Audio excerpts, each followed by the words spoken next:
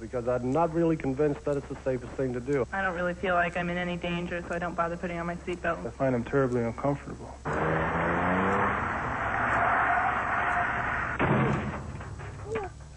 My problem with the seatbelt is that it gives me a rash right across my neck here. And I just can't take the time to buckle up and unbuckle constantly in and out. They're sort of inconvenient, but I'm a good driver, and I don't really need them.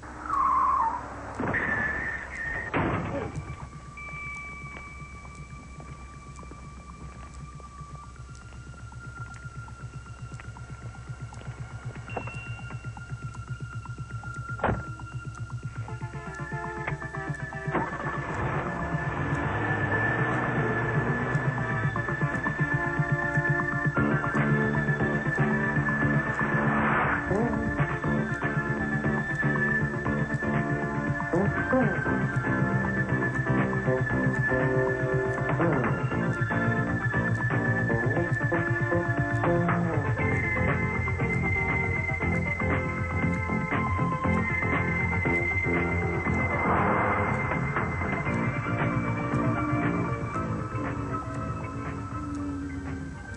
morning.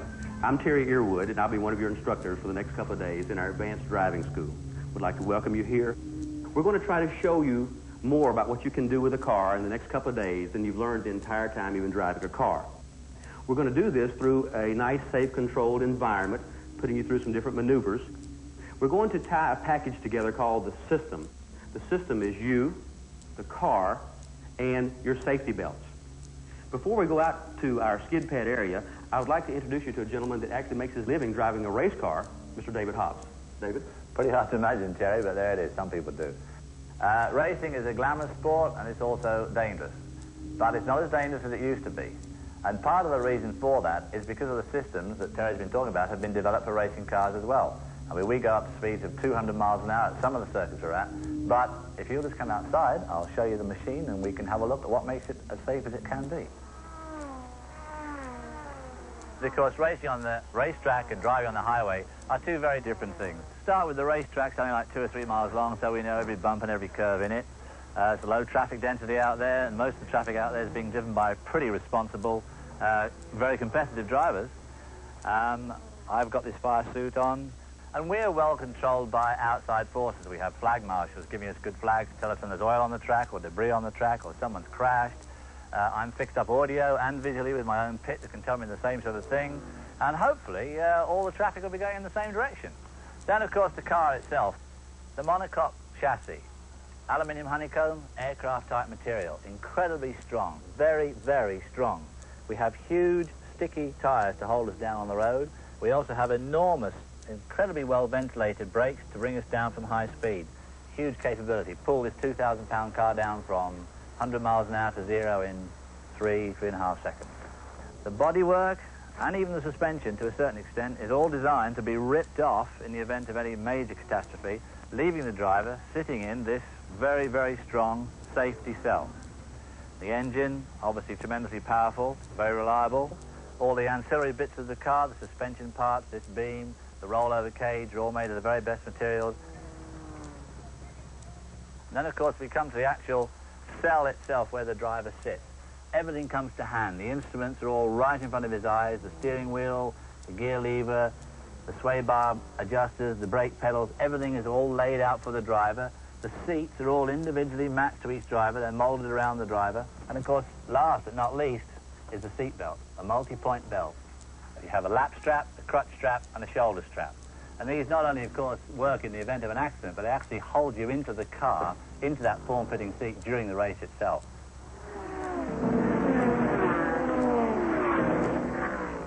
David showed you some of the features of his system that makes driving at race speeds safe. The driver is well prepared and well trained. The race car has both active and passive safety features built in. Active features David can manipulate, like steering, a powerful engine, and brakes. Passive features like roll bars and a breakaway body. And most important in the system is the safety belt because it holds the driver in place in the vehicle. You're going to learn how to manipulate the same active features of your automobile that David talked about with the race car.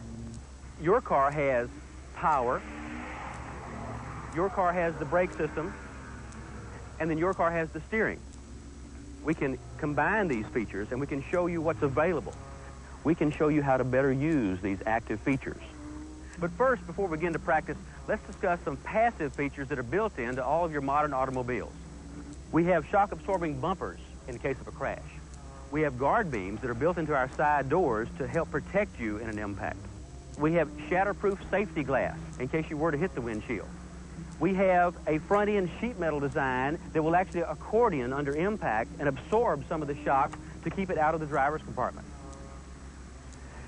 Now let's acquaint ourselves with the cockpit. You actually have a cockpit orientation when we get in the automobile. The first thing is you want to get in as much seat as possible, get nice and comfortable in the seat, get your legs at the proper angle and your arms at the proper angle. You want to be able to adjust your mirrors where you can see out the entire rear window and see down just barely get the edges of your cars with the side view mirrors. You want to know where your gauges are, the speedometer, the tachometer, fuel, oil pressure. You want to be able to reach a turn signal or reach a wiper or reach your lights without having to look for it. Let's work on your hands at 3 o'clock and 9 o'clock. That'll keep us square with the four corners of the car at all times. Now, the most important thing that ties us into the entire system is our safety belt.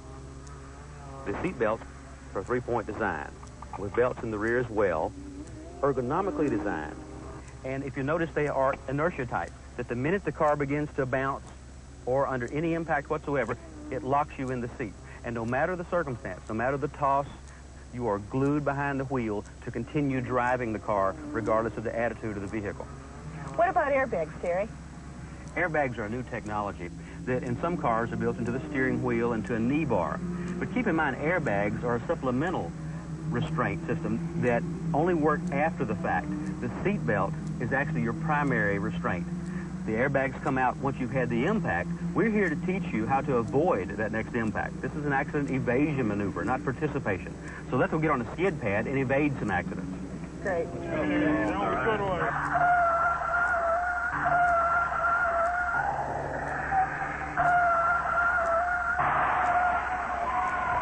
right, Kevin, we talked about what the car can do. We've talked about the seat belt, how it holds you in place.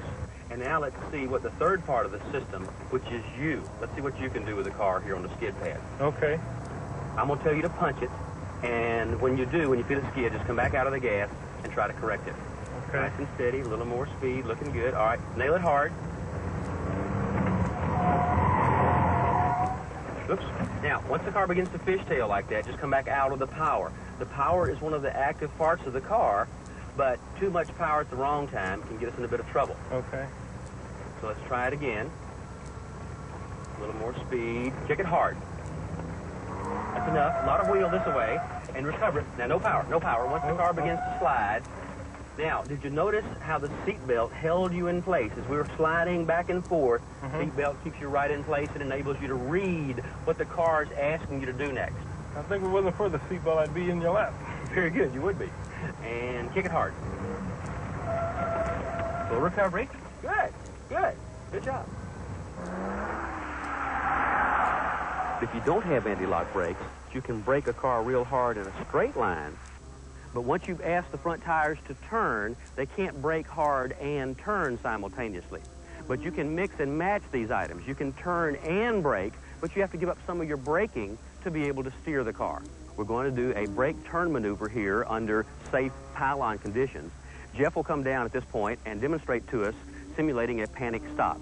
We will turn the lights red, and as the lights turn red, you will see that he is able to apply the brake pedal and turn the car, but stop in these pylons, hopefully without hitting the cones.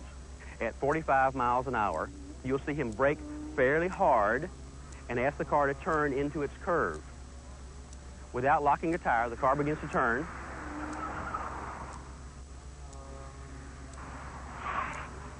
We call it trailing brake, where you're trailing out of the brake pedal. It's just feathering back the brake pedal, but still slowing it down at the same time. If you do it just on the money, actually the right front tire will make more noise than the rest of the car. As you ask the car to turn right, you unload the right front tire, take the weight off of it, and she slows down more than the rest of the car, and it begins to squeal just a little bit. If you get both front tires locking some, the car will not respond, car will not turn, and you must back out of the brake system some. If you lock the front tires, you may as well unbolt the steering wheel and hand it to your passenger because they're doing just as good a job of driving as you are.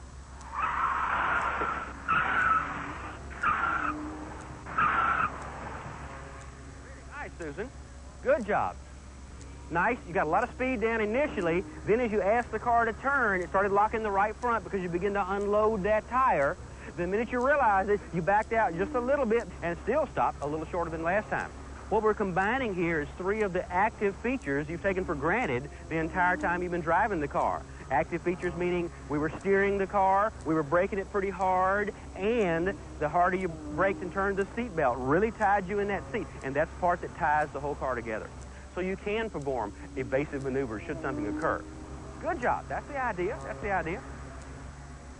Now that we've spent an enjoyable morning on the skid pad, just sliding around, spinning the cars backwards, and really feeling how the safety belt held you in place in that seat, we'd like to expose you to a different point of view. And with us this morning, we have Dr. Scott Geller, professor of psychology from Virginia Tech. Good morning. I'm a behavioral psychologist, and I've been studying for almost a decade ways to get people motivated to wear that safety belt. And I've heard every excuse in the book. And you know, no excuse is a rational one. We get in our car, we got places to go, people to meet, and we don't think about reaching up and putting on that shoulder strap and lap belt combination. Oh, on any one trip, the probability of being in an accident is minuscule. But in a lifetime of driving, it reaches 50-50. Nope, the best defense against the drunk, against the uneducated driver, is to wear your own safety belt on every trip. We have to get people involved in the idea of wearing a safety belt. You know, as a teacher, I think of the motto, and I try to live by this. Tell them and they'll forget. Demonstrate and they'll remember. Involve them and they'll understand. You've been involved the last two days in learning about the automobile and how it's part of an entire system. And right now I'd like to involve you in a demonstration to illustrate that even at slow speeds, the safety belt is necessary. Let's come meet the convincer. Okay, Steve, put on that system that you're used to wearing. Uh, Steve, this is only a six mile an hour crash. This is the kind of crash that people have in parking lots. It's a, it's the pseudo crash. It doesn't really happen. You stop suddenly, just six miles an hour. I want you to think if you could really hold yourself back. People think they can hold on the steering wheel, or in fact, hold a child back by putting out their arm. I want you to imagine, see if you really could do that. Okay. Just six miles an hour. Here we go.